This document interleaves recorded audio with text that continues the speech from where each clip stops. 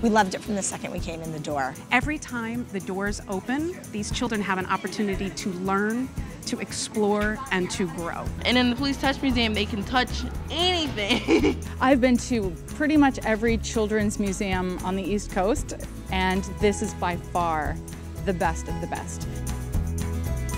We come to the Please Touch Museum because this place is absolutely magical.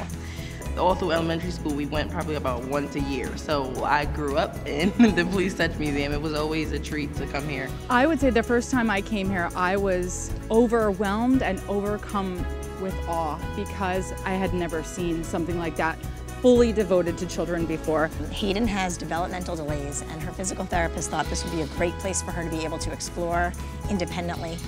And it was. And we've been back ever since. Every time they come here, they learn something new and they feel like they're playing. When you come up here, you got like the, the large steps. She loves running up them. That just gives us a head start on what we're about to get into. what do you like? The rocket. You hit the launch button and what happens? It shoots up. And the distance of the rocket is directly related to the Pressure.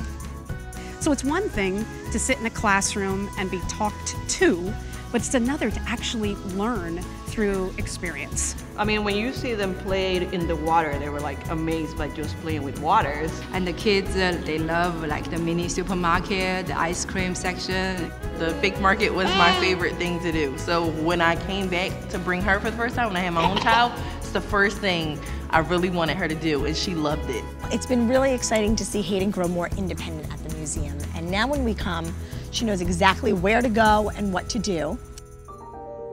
And we end every trip with a ride on the merry-go-round. The carousel is one of our favorite things about being here.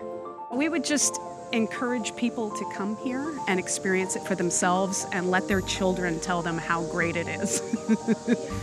As a stay-at-home mom, I would like to say that I've explored almost every type of option for what to do with kids during the day. And by far, the Please Touch Museum has blown us away. It's been the best location that we have found. It is indeed the best museum ever. Wouldn't you say? Yeah, I think so.